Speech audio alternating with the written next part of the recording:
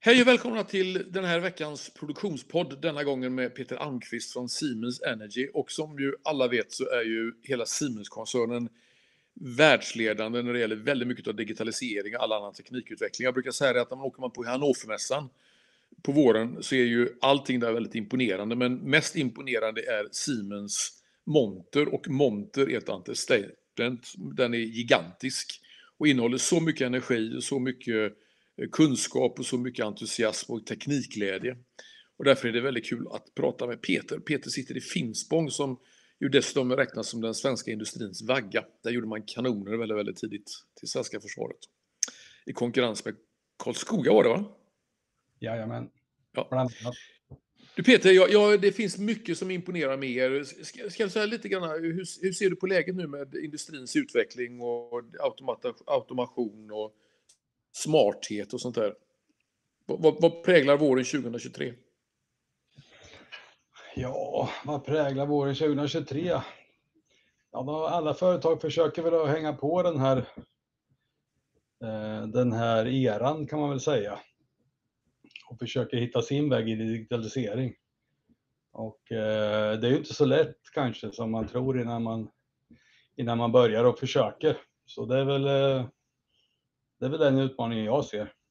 Som vi också Om man, om man nu tänker sig att det låter lätt, jag vet, jag vet inte om ni gör, för jag tror inte folk är så naiva egentligen när det gäller digitalisering, men vad, vad är de stora problemen tycker du? Ja, vi, vi är ett lite större företag då, då så eh, vi får ju, vi måste se till att koordinera oss eh, mellan lokala initiativ och globala initiativ då, för att gå hand i hand med med våran koncerns utveckling. Eh, så det är väl ett av de stora initiativen och sen eh, handlar det ju mycket om att ha kompetenta medarbetare som, eh, som kan hjälpa till att dra i de här trådarna så att säga. Mm. Tycker du att skolorna hänger med? De som kommer från skolan idag, är de så bra på IT som en äldre generation ofta tror? Ja, det tycker jag nog. Det tycker jag nog de är mycket, mycket bättre än vad min generation är i alla fall. Ja. Och vad är det de unga kan som de äldre inte kan, tycker du? Kan, kan du sätta liksom fingern på skillnaden? Alltså de är, de är mer vana att ta till sig nya system och nya arbetssätt och sådana saker.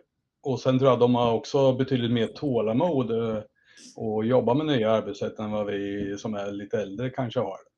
Eh, vi tycker att allting ska fungera direkt från början. Medan ungdomar är mera vana vid att ja, ta till sig det som finns och göra något bra av det så att säga. Det finns mycket som imponerar med er. Ni har bland annat någonting som jag tycker är häftigt. En hel fabrik som bara består av 3D-skrivare. Ja, det har vi. Och den är ganska stor. Ja, den är ganska stor. Det är ett antal maskiner som vi har där. Ja. Berätta lite, hur går det med den? Ja, det går väl ganska bra. Vi, eh, vi är på väg. Eh, vi har industrialiserat ett antal produkter som vi använder i våra, i våra gasturbiner, då, om vi pratar gasturbiner som jag jobbar mest med. Då. Så vi har produkter som är ute på marknaden och som går i våra maskiner då, som är printade och som levererar väldigt bra prestanda. Så det är kul. För, för, när det här med 3D-printning kom så var det en del som sa att, att det är säkert kul och så, men det kommer aldrig hålla den kvaliteten som traditionella tillverkningsmetoder hade. Men det är fel. 3D-printade komponenter är lika bra eller bättre som traditionellt tillverkade. Ja, det beror ju på vilken, alltså man måste anpassa, man måste anpassa både designen, men sen måste man också välja artiklar då som är lämpliga för 3D-printning. Så man kan, inte, man kan inte tänka att man ska printa allting, inte just nu i alla fall. I framtiden vet man ju inte hur det kommer att se ut, men just nu så måste man välja rätt komponenter eh, och printa. Och sen designa dem för 3D-printning. Då, då når man väldigt långt. Men i, i en gasturbin så är ju vissa komponenter väldigt utsatt för en väldigt, väldigt tuff miljö, om man säger så. Mm. Eh, och det du säger då är att de komponenter som sitter i den tuffaste delen av gasturbinen, de är inte 3D-printade? Ja, några av dem är ju det. det. Det beror på vad man menar med tuff miljö. En del har ju tuffa, vad ska man säga, dynamiska egenskaper. och Andra känner av eh, väldigt höga temperaturer. Eh, så har man låga påkänningar och höga temperaturer, då kan man vara lämplig för 3D-printning. Men har man eh, hög dynamisk påkänning så är det fortfarande bättre material tillgängliga på marknaden då, som gör att de håller lite bättre.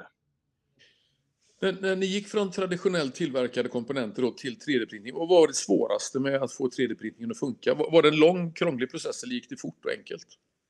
Ja, det svåra är ju att validera material properties, alltså materialegenskaperna, så man kan stoppa in dem i sina beräkningsmodeller och verifiera att komponenterna håller. Det är den stora utmaningen, som jag ser det. Okej. Men det är ju en helt annan kompetens att få en 3D-printer att funka eller få en traditionell analog maskin att funka. Anställde ni helt ny personal eller var det en äldre generation som utbildades på 3D-printrarna eller hur gick det till? Ja, det är nog en blandning. Det stora jobbet när det gäller 3D-printning är ju inte att köra själva maskinen, utan det är ju att eh, skapa 3D-modellen och stödstrukturer och sådana saker. Sen själva printningen, den sköter sig ju självt eh, i mångt och mycket. Har 3D-printningen förändrat komponenterna? 3D-printar ni ungefär på samma sätt som ni tillverkade traditionellt tidigare? Eller har 3D-printningen inneburit att ni börjar tänka nya banor och gör komponenter som tidigare inte gick att göra? Ja, när vi började så printade vi ju samma geometri som vi eh, hade sedan tidigare, som vi tillverkar konventionellt. Men nu har vi insett att eh, för att komma riktigt långt med 3D-printning så måste man eh, anpassa designen för 3D-printning. En annan sak som jag tycker är väldigt spännande, det är ju hur ni är uppkopplade till era kunder, för det är ni va? Ja, det är vi, absolut. Hur många kunder är ni uppkopplade mot? Ja, I storleksordningen. Det vet jag faktiskt inte. Jag kan inte svara på det, men det är ju hundratals är det ju. Ja, och hundratals, det är en majoritet kunderna. De flesta kunderna väljer att vara uppkopplade mot er. De flesta väljer att släppa sin data till oss, men inte alla. Vissa vill inte att datan ska komma till oss, så att säga. Men de flesta vill det. Ja, och då sitter ni i ett kontrollrum någonstans i världen och har koll på hur era produkter funkar? Ja, stämmer. Sitter här i Finspång, har koll på produkterna, eller var som helst i världen idag ska man ju kunna sitta.